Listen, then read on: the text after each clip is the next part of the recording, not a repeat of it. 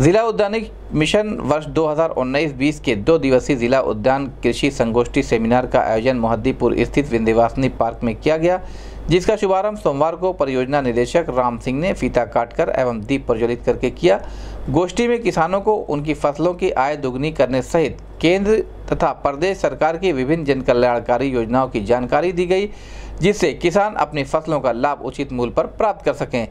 इसके साथ ही साथ किसानों को वैज्ञानिक खेती करने अपने ज़मीन का मृदा प्रशिक्षण कर, कराने तथा किसान सम्मान निधि योजना के अंतर्गत सरकार द्वारा मिलने वाले लाभ को भी बताया गया।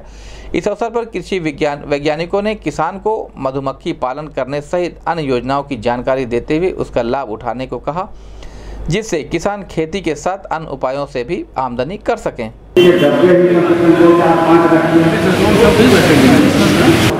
हाँ राजू सिंह हमारा है राजू हरपुर और वहाँ से हमारे गाँव से छः किलोमीटर और आगे जाएँगे तो महायोगी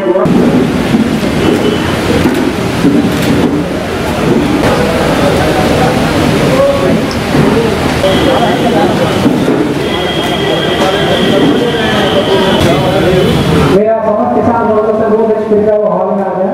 क्योंकि कार्यक्रम प्रति किसान अगर हर किसान अगर अपने घर पाँचे पाँच पर होता रहेगा।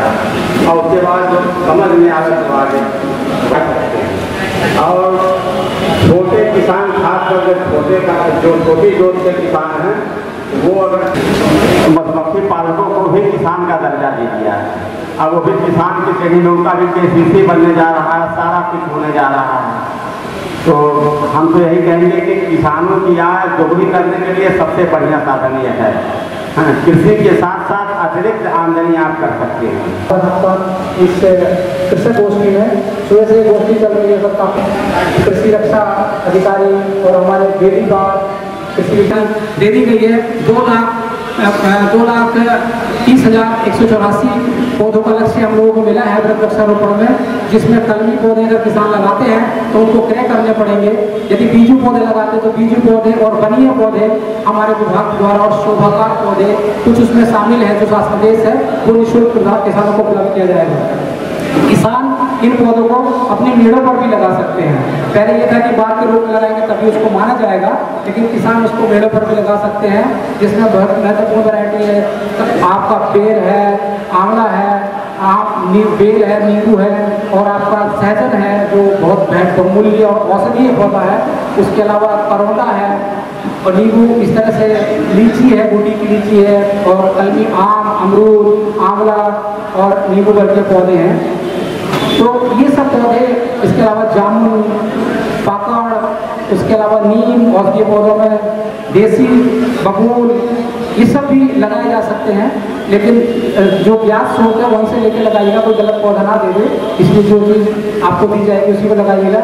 इसके अतिरिक्त, जनपद के लिए 1100 वर्ग मीटर का इस बार का लक्ष्य हमें पॉली हाउस का मिला हुआ है।